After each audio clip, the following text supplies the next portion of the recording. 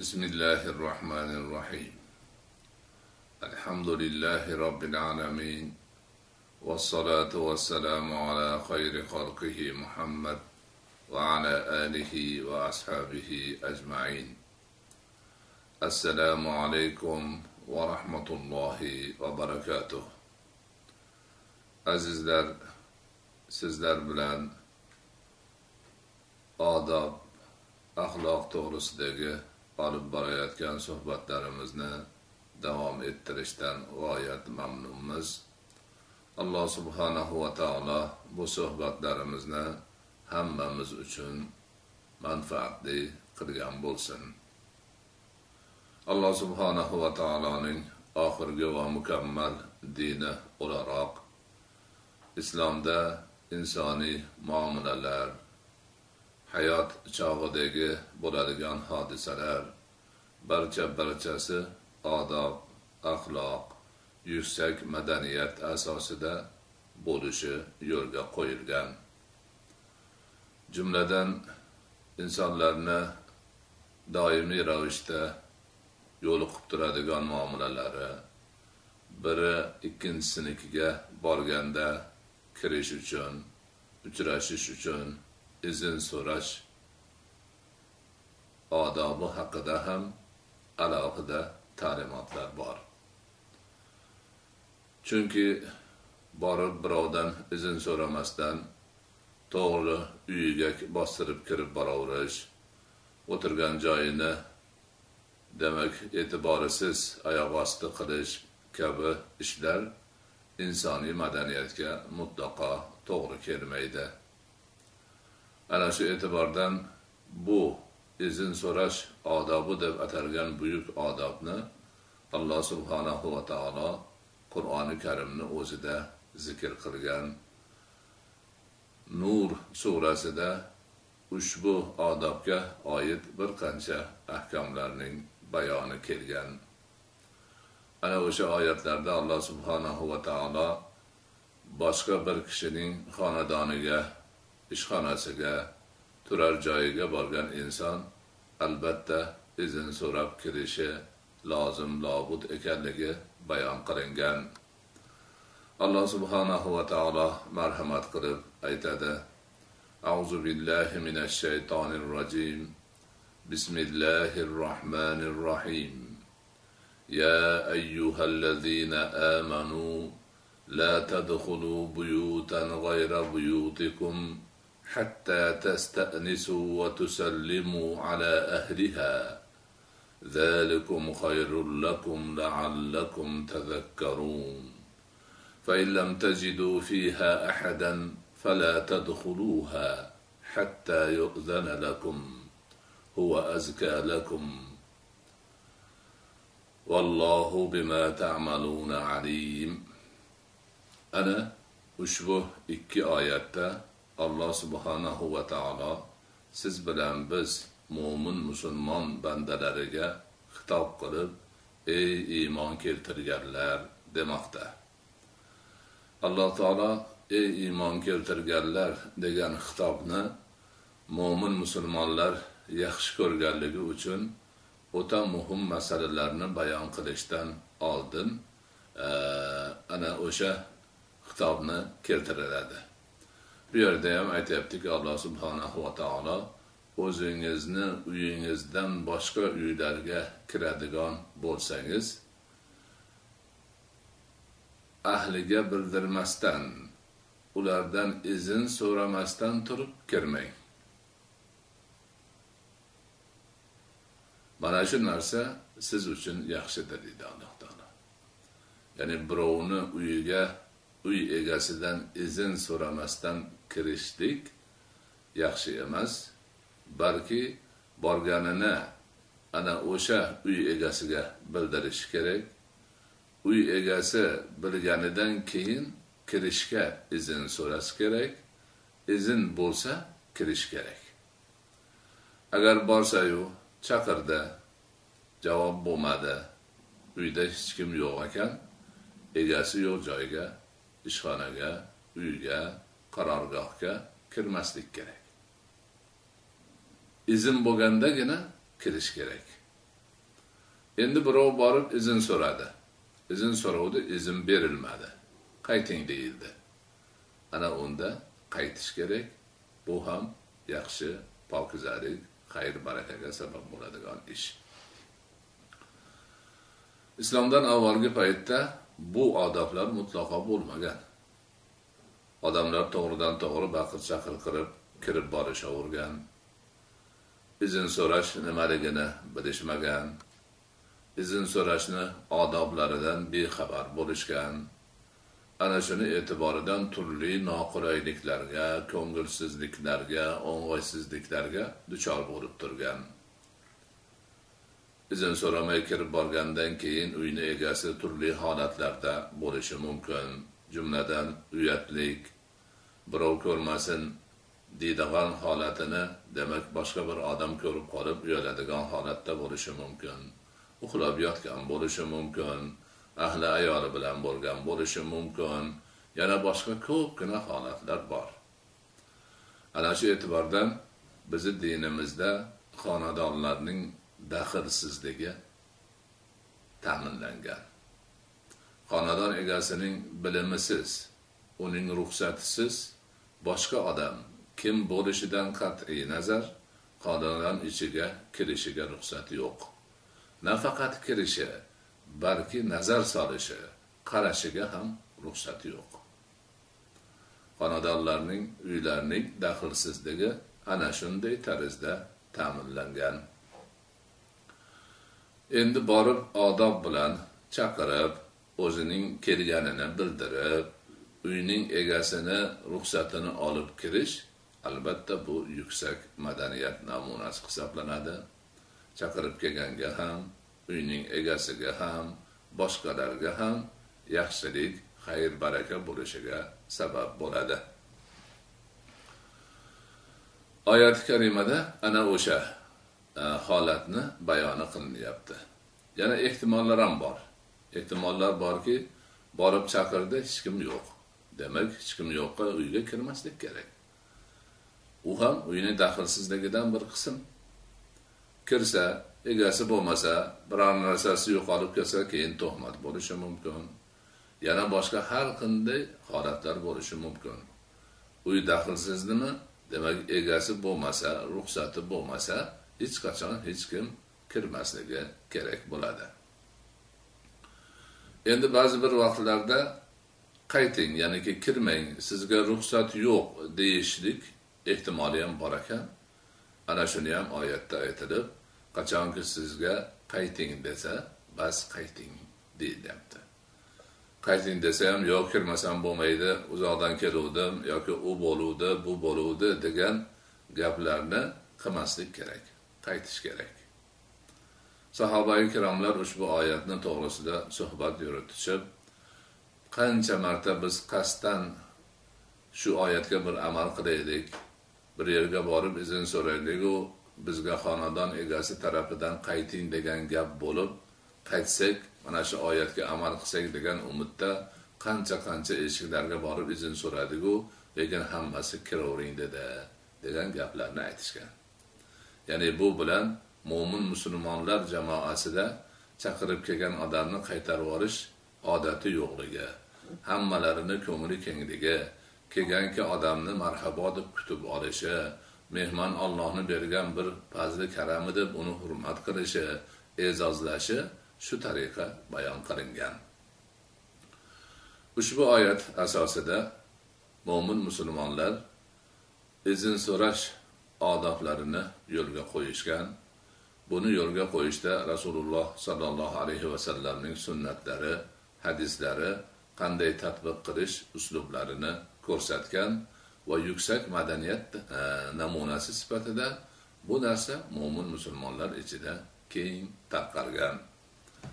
Ana kelib izn so'raydigan odam uch marta izn so'rashi e, ta'kidlangan hadis shariflarda avvallarda uylarga qo'rg'oni bo'lmagan uylarni eshiklari ham bo'lmasdan bir latamida yoki qamishdanmi to'siqlar qilingan. Shuning uchun e, yaqinroq kelib odamlar bir bir joyda turib e, izn so'rashi e, zarur bo'lgan. Bunaqa hozirgiga o'xshagan qo'ng'iroqlar yoki insonni suratini ko'rsatib turadigan izn so'raydigan asboblar boshqalar bo'lmagan. Shuning uchun avvallarda o'sha yaqinga kelib turib uy egasi eshitadigan tarzda qilib turib assalomu alaykum assalomu alaykum deb uch marta aytilgan. Buni o'rniga hozir mana qo'ng'iroq chalish yoki shunaqa taqillatish yoki telefonlik bo'lsa o'sha telefoni bilan o'zi ko'rinib turib izn so'rash odatlari chiqdi. Bularni ham o'shanga taqqoslab uch martadan qilish odob doirasidagi narsa ekanligi aytiladi. Uch marta izn so'rash nimaga kerak desa ulamolarimiz aytadiki birinchi izn so'rash bilan inson chaqirib kelganini bildiradi. Ikkinchi izn so'rash bilan kirishda qat'iyati borligi ishi demak zarur ekanligini bildiradi. Uchinchida esa oxirgi narsa agar ruxsatingiz yo'q bo'lsa qaytib ketaman degan ma'no bo'ladi. Uchinchidan keyin ham javob bo'lmasa odob shu qaytib ketish kerak. Illo ana shu chaqiruvchi kishi mani shu uch marta chaqirganimni ham xonadon egalari eshitmadi shekilli degan e, aniq bir qarorga kelsa yana ziyoda tarzda chaqirsa bo'ladi.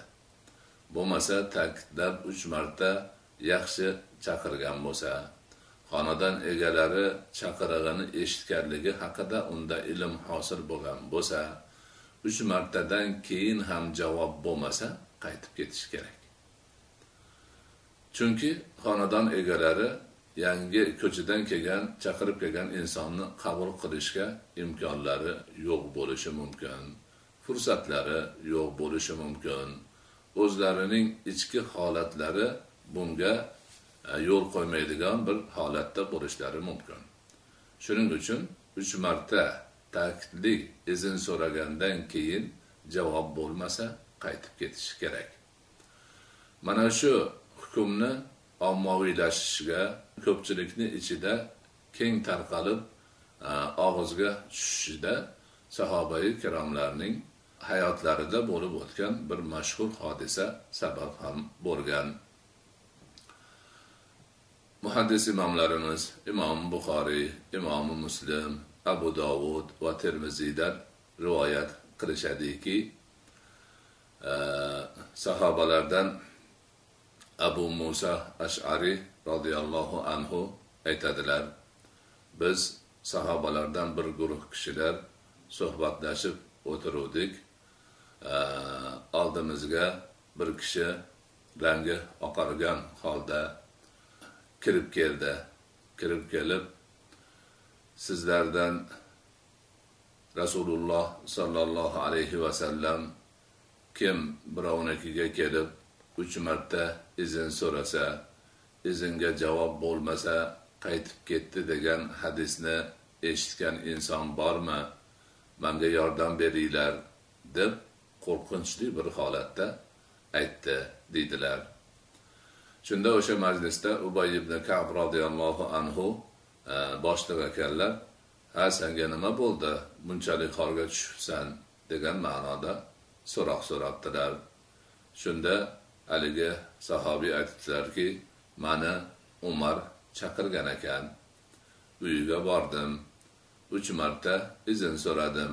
Ya'niki assalomu alaykum assalomu alaykum deb uch marta aytdim. Javob bo'lmaganida rasululloh sollallohu alayhi vasallamning kim birovnikiga borib uch marta izn so'raganda javob bo'lmasa orqaga qaytsin degan hadislariga amal qilib orqamga qaytib ketdi. So'ngra umar manga odam yuborib oldirib keldida huzuriga borib chaqirsam nimaga kelmaysan? dedi. Shunda yo'q chaqirganingizda man keldim. Lekin uch marta izn so'ragan edim javob bo'lmaganidan keyin rasululloh sollallohu alayhi vasallam kim birovnikiga borib uch marta izn so'rasayu izn bo'lmasa qaytib ketsin degan hadislari esimga tushib qaytib ketdim dedim deydi. Shunda hazrati umar albatta shu gapingni hujjat dalil bilan isbot qilasan bo'lmasa kuningni ko'rsataman degan ma'nodagi gap aytdi. Shuning uchun sizlarning huzurlaringizga qo'rqqan holimda keldim dedi. Shunda ubay ibn kab roziyallohu anhu aytdiki allohga qasamki bizning ichimizdan eng kichigimiz sanga guvohlikka boradi. Bu degani ana shu kichkina kishilar ham biladigan darajadagi aniq narsa bu. Shuning uchun buni hamma biladi. San xavsirama. Bizdan eng kichigimiz ham borib umarni oldiga mana shu hadisni man eshitganman. Bu odam to'g'ri aytibdi deb guvohlikka o'tishga hozir degan ma'noni bildirdilar. Keyin rivoyatlarda aytilishicha e, bir odam qo'shilib borib sahobalardan hazrati umarga guvohlik berganlar. Ba'zi bir rivoyatlarda aytiladiki hazrati ubay ibn kabdek katta sahobani o'zlari borib guvohlik berganlar. Guvohlikni eshitgandan keyin hazrati umar man bu yerda e, birovni tuhmat qilmoqchi emasman yoki birovning haqida noto'g'ri fikr qo'zg'amoqchi emasman. Aytgan gapini hujjat bilan dalil bilan aytsin o'z o'zidan gapiravermasin degan ma'noda surishtirib qo'ydim xolos degan ma'noni aytganlar. Ana o'sha demak sahobalarni davrida odob axloq masalalari ham hatto uyga kelganda izn so'rash masalalari ham so'rab surishtirib hujjat dalil haqiqatdan rasuli akram alayhissalotu vassalom tarafidan ko'rsatma bo'lganligi ta'kidlanib vasiqalashtirib borilganligini ko'ramiz.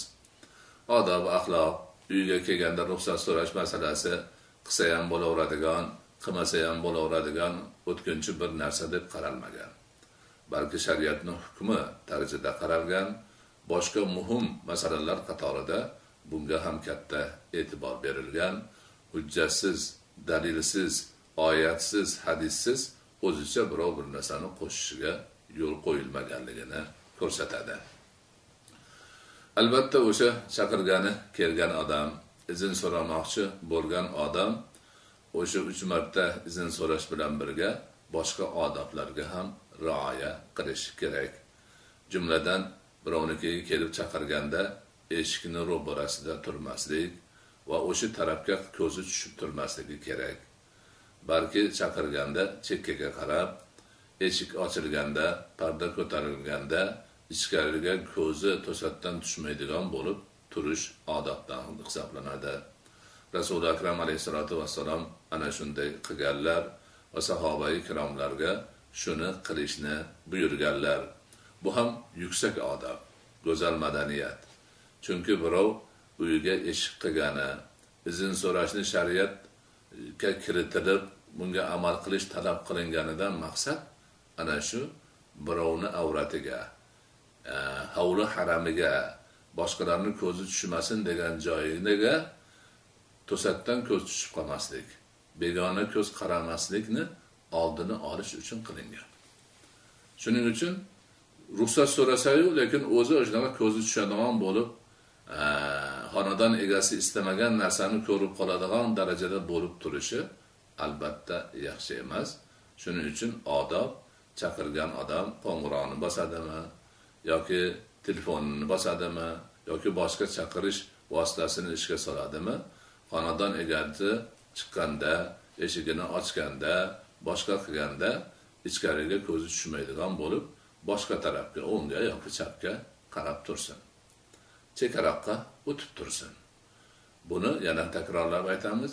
Rasuli akram alayhissalotu vassalomning o'zlari qilganlar sahobalar ham shuni qilganlar siz bilan biz ham qilgan qilishimiz kerak. Bu narsa doimiy ravishda bo'lib kelayotgan narsa. Ana shu e'tibordan e, faqat izinsiz birovni uyiga ichkarisiga kirish emas balki izinsiz bilimsiz birovni hovli haramiga uyini ichiga nazar solish ham bizni dinimizda man qilingan. Egasini bilimisiz tirqishdan qarashmi yuqoridan qarashmi yoki ochilib qolgan eshik derazadan qarashmi hamma narsa man qilingan. Hatto shu darajaga yetganki rasuli akram alayhissalotu vassalom kim birovning uyi ichiga e, yashirincha nazar solib turgan bo'lsa uy egasi o'sha narsani bilib qolib turib haligi nazar solib turganni ko'zini o'yib olsa xun to'lamaydi deb aytganlar. Chunki bu ko'z xiyonatchi ko'z birovni avratini uyatini yashirgan narsasini boshqalar ko'rmasin degan narsasini xiyonatkorona yashirincha ko'rib turganligi uchun ana shunday jazoga sazovor deb topilgan. Ulamolarimiz nazar solish birovni demak uy ichiga hovlisiga haramiga e, izinsiz nazar solish man qilingandan keyin shunga taqqoslab izinsiz quloq solish ham mumkin emas. Ya'ni nima deb gaplashyapti? Uyni ichida qanaqa suhbat ketyapti? Qanday gaplar bo'lyapti? Bularni uyni egasidan yashirincha. Unga bildirmasdan eshitib olish ham gunoh hisoblanishi hadis shariflarda kelgan. Shuningdek birovni maktubini uning bilimisiz o'qish yoki yozayotgan narsasiga nazar solish ham qat'iyan man qilingan. Ana bularni hammasini biz yaxshi bilishimiz kerak o'rganishimiz kerak bolalarimizga o'rgatishimiz kerak yo'lga qo'yib mana shu yuksak islomiy odob asosida o'zaro munosabatlarimizni e, olib borishimiz kerak.